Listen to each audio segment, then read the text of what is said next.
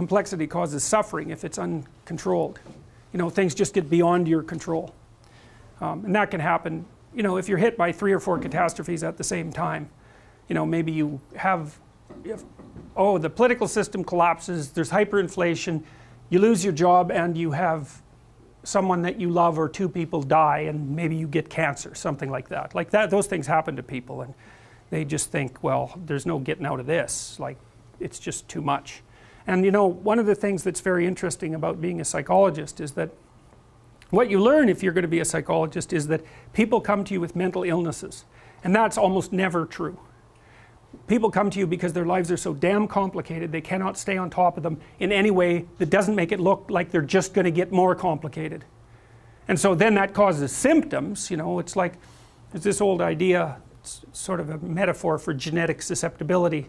Take a balloon and blow it up until it's beyond its tolerance, it's going to blow out at the weakest point. Well, that's sort of what a genetic susceptibility is. If I just keep adding complexity on top of you, at some point you'll blow out at your weakest point. You know, maybe you'll get physiologically ill, maybe you'll start drinking, maybe you'll develop an anxiety disorder, maybe you'll get OCD, maybe you'll get depressed, whatever. There'll be something about you that's the weakest point, and if I just push, that's where you'll blow out. So that's a mental illness, but those things almost never just happen. Sometimes, but not very often. Usually people have just been hammered like two or three different ways, and then they collapse in the direction of their biological weakness, and then maybe you put them back together, but it's almost always a complexity related phenomena rather than a mental illness related phenomena. Not always, but almost always. So, okay, so now you got this complexity problem and you think, well, you deal with it conceptually. And that's sort of akin to the idea that it's belief systems that protect you from death anxiety. The ideas are roughly comparable, but again, that's, that's wrong. It's the sort of thing only a psychologist could think about, think up, because psychologists think that everything about you happens inside your head, so to speak, in your psyche, but that's not true. There's a huge chunk of you that's outside of you completely.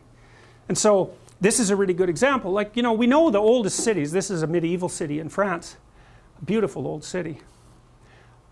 Old cities were walled. And the reason for that was because they were places of wealth, and if you didn't put walls around them, then other people would come in and steal everything and kill you. So, like, having some walls was a good idea. Like, uh, the same as having walls in your house is a good idea. Walls between your rooms are a good idea, or borders between categories are a good idea. And so part of the way you simplify the world is by building walls, walls around your space because then a whole bunch of things can't come in. And so you don't even have to think about them. It's not conceptual, it's practical. And so, and you know, one of the things I think I figured out recently is the fundamental political difference between people. And it looks to me like the fundamental political difference is how many walls should there be around your stuff? And the ultimate liberal answer is zero. And the ultimate conservative answer is well, bring on those walls, man.